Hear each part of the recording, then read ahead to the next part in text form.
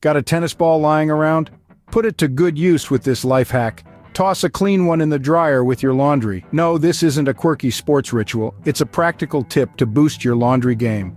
The tennis ball bounces around, fluffing and separating your clothes. The result? A reduced drying time and fluffier clothes.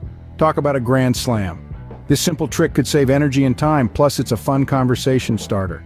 So next time you're doing laundry, serve up a tennis ball in the dryer. Who knew laundry could be such a ball game?